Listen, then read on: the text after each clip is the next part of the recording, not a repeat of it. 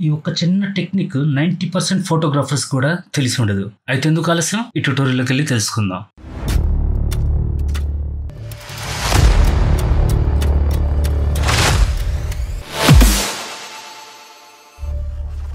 Welcome to creative space graphic designing నేను మీ guys క్లాస్లోకి వెళ్ళిపోదామా? వెళ్ళే ముందు ప్లీజ్ వీడియోకి ఒక లైక్ చేయండి షేర్ చేయండి సబ్స్క్రైబ్ చేసి బెల్ ఐకాన్ని యాక్టివేట్ చేయండి. ఇటువంటి ట్యూటోరియల్స్ మరెన్నో మీకు నోటిఫికేషన్ అందడానికి. ఫోటోషాప్లోకి అయితే వచ్చేసాను. ఇక్కడ ఒక నేను ఇమేజ్ తీసుకొని ఉన్నాను. ఇదే ఇమేజ్ని త్రీ డూప్లికేట్ ఫైల్స్గా నేను ఓపెన్ చేస్తున్నాను. ఒక ఫోటోని కలర్ ఇన్హాన్సెస్ చేయాలనుకున్నప్పుడు మనం కెమెరా రా యూస్ చేస్తాం. బట్ ఆ కెమెరా రాని కూడా యూస్ చేయకుండా సింపుల్ టెక్నిక్తో మనం కలర్స్ని పాపప్ చేయవచ్చు. అండ్ ఈ టెక్నిక్ నైన్టీ పర్సెంట్ ఫోటోగ్రాఫర్స్కి తెలియదు అండ్ తెలుసుంటే ప్లీజ్ కామెంట్ అయితే చేయండి. అండ్ ఈ టెక్నిక్ని ఎక్కడెక్కడ యూస్ చేయాలి ఎక్కడెక్కడ యూస్ చేయకూడదో మీకు లాస్ట్లో ఎక్స్ప్లెయిన్ చేస్తాను. స్కిప్ చేయకుండా ఫుల్ వీడియో చూడండి. చిన్నదే కాబట్టి. అయితే ఇప్పుడు మనం ట్యూటోరియల్లోకి వెళ్ళిపోదాం. ఇక్కడ నేను ఫస్ట్ ఒక ఇమేజ్ మీదకి వచ్చినాం కదా మనం కెమెరాని యూస్ చేద్దాం. ఫిల్టర్కి వెళ్ళాను కెమెరా ఓపెన్ చేశాను.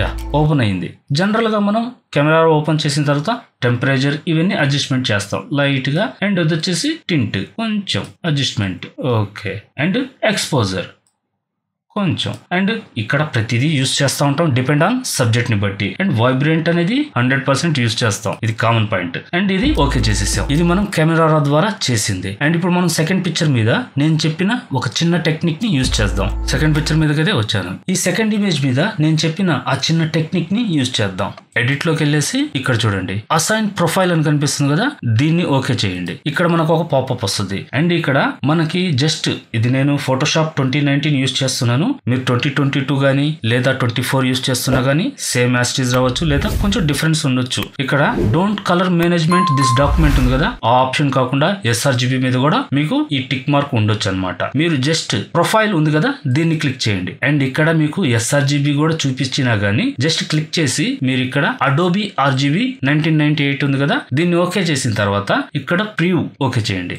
చూసారా? ఎటువంటి హార్డ్ వర్క్ లేకుండా స్మార్ట్ వర్క్తో మీకు కలర్స్ పాపప్ ఎలా అయ్యాయో ఒక ఇన్హాన్సింగ్ అంటే కలర్ మనకి ఏది ఎంత పర్సెంటేజ్ పెంచాలి అనేది మన మెదడుకి పని లేదు. జస్ట్ ఒక సింపుల్ మెథడ్లో ఒక క్లిక్తో మనకి కావాల్సిన కలర్ ఎలా పాపప్ ఇచ్చాయో చూసారా? అండ్ దీన్ని ఓకే చేసేయండి. అండ్ ఇప్పుడు మూడు ఇమేజెస్ని మనం వేరియేషన్ ఏందనేది గమనిద్దాం.